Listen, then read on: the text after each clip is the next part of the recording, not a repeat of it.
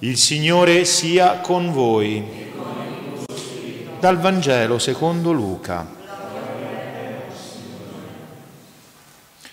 In quel tempo Gesù disse ai suoi discepoli, metteranno le mani su di voi e vi perseguiteranno, consegnandovi alle sinagoghe e alle prigioni, trascinandovi davanti a re e governatori a causa del mio nome.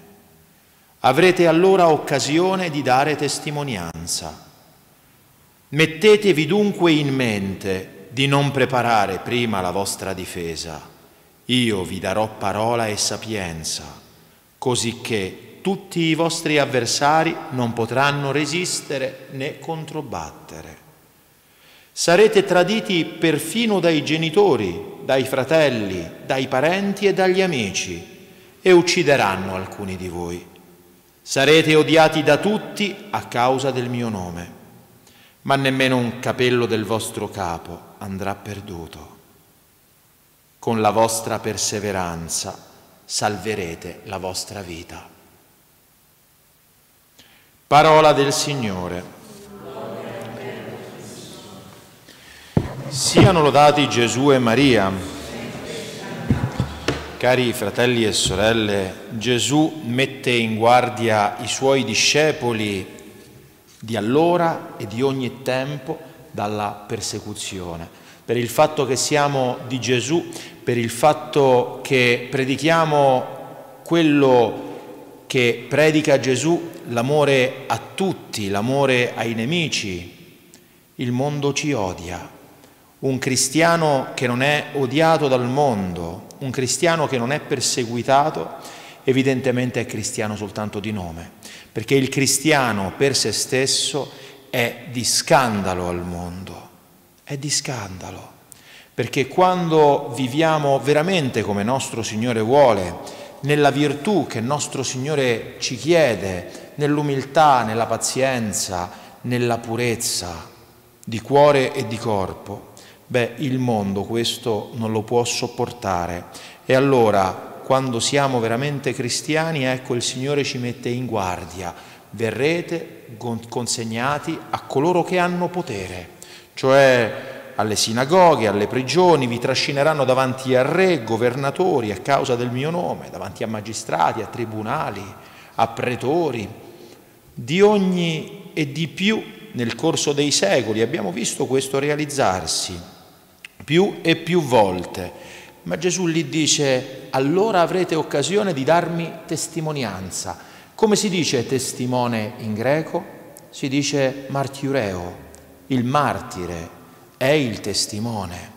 Oggi nel parlare comune, martire è qualcuno che versa il suo sangue, ma in realtà questa accezione di significato questa accezione di significato che è ormai comune, gli viene dal fatto che i martiri di Cristo hanno testimoniato fino all'effusione del sangue, sono stati veramente davanti, messi davanti a re e governatori e un caso emblematico e molto bello e provvidenziale è proprio quello della santa che festeggiamo quest'oggi, Santa Caterina d'Alessandria, la quale è stata martirizzata nell'ultima persecuzione, grande persecuzione dell'impero romano, sembrerebbe nel 305 o nel 306, fu portata dinanzi all'allora imperatore della zona orientale, Massimiano o forse Massenzio, uno dei due, a seconda, però l'imperatore era ad Alessandria e fu portata dinanzi a lui perché, perché lui aveva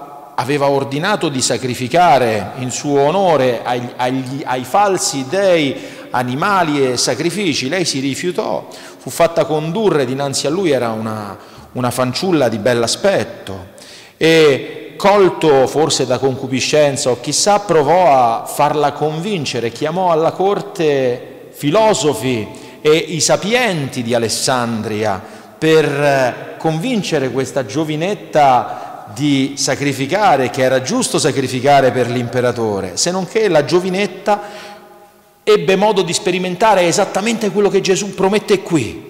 Non vi preparate la vostra difesa, io vi darò parola e sapienza e tutti i filosofi che erano stati chiamati per convertirla al paganesimo si sono convertiti al cristianesimo, hanno ammesso la verità delle parole di questa giovinetta e per tutta risposta l'imperatore li ha subito martirizzati, però non si voleva dare per vinto, cioè li ha uccisi tutti. Non si voleva dare per vinto, allora sembrerebbe che voleva sposarla, voleva... lei si è rifiutata perché era di Cristo e allora fu torturata, uccisa a morte, uccisa a morte.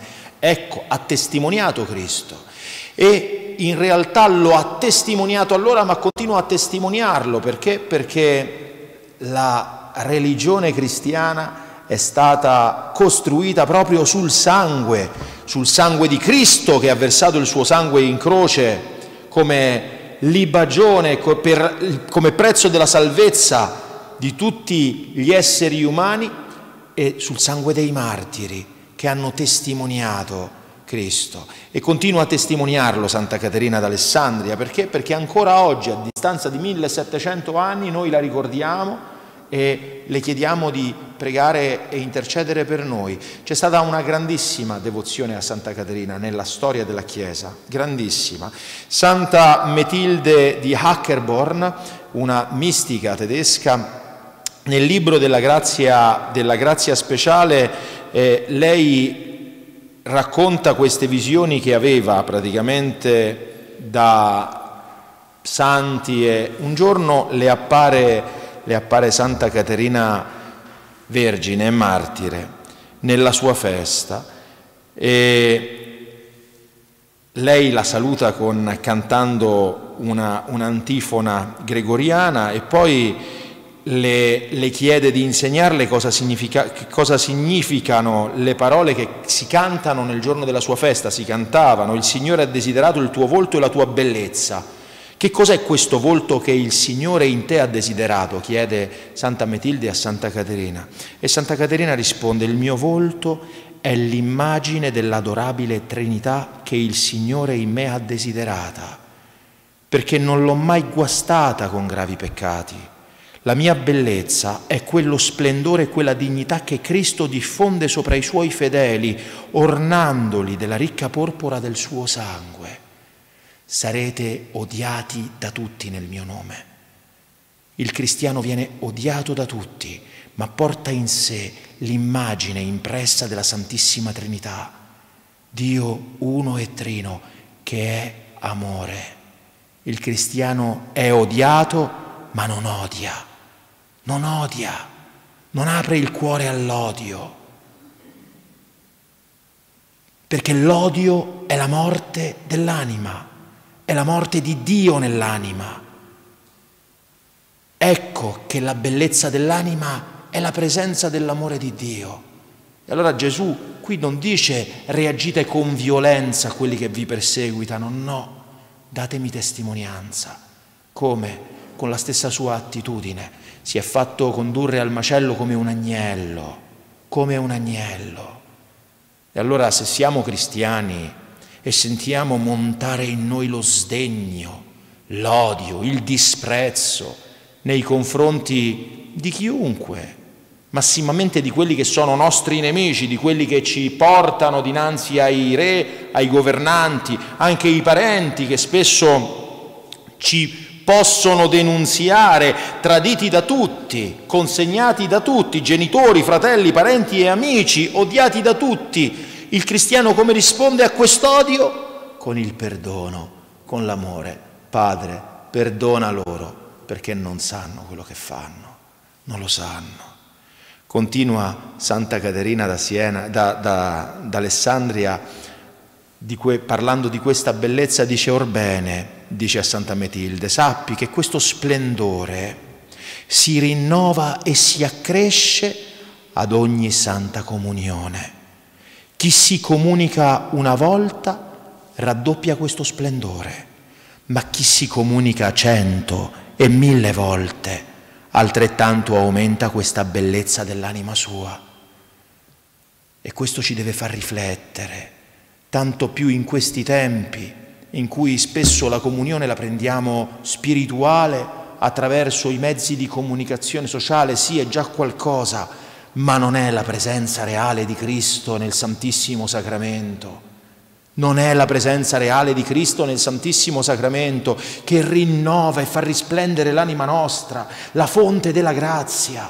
È tutta lì, nel sacramento dell'amore di Dio. Il sacramento dell'amore di Dio.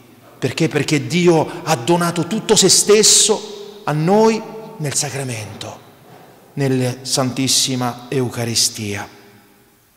Allora se abbiamo modo andiamo a fare la comunione, andiamo fisicamente a fare la comunione. Perché finisce Gesù, nemmeno un capello del vostro capo andrà perduto. Possono torturarci, possono ucciderci. A Santa Caterina d'Alessandria l'hanno messa in una ruota addentata e ne hanno straziato completamente le carni completamente, però Gesù ci assicura che neanche un capello del nostro capo andrà perduto. Perché? Perché è Lui che crea tutte le cose. Lui che conosce non solo tutti gli uomini e tutte le donne mai esistiti, ma anche tutti e singoli gli atomi di cui ciascuno di noi è composto. Nulla sfugge al Signore Onnipotente, nulla. E se persevereremo fino alla fine, beh, allora salveremo la nostra vita e la nostra anima, anche se il corpo andrà in disfacimento, ma il corpo è destinato a sfaldarsi. Ciò che dobbiamo salvare è l'anima, salvarla dai nemici dell'anima, interni ed esterni, interni il nostro peccato, esterni tutti coloro che come ladri, come furfanti, vogliono rubare la carità nell'anima nostra. Lo dicevo ieri, lo ridico oggi e lo ridirò sempre, cari fratelli e sorelle. Non ci serve a niente tutta la dottrina di questo mondo, tutti i discorsi capziosi, la sapienza dei teologi, non ci serve a niente se non abbiamo la carità. Siamo nulla, siamo vuoti, siamo morti, perché la carità è la vita dell'anima, perché la carità è Dio, è la vita eterna.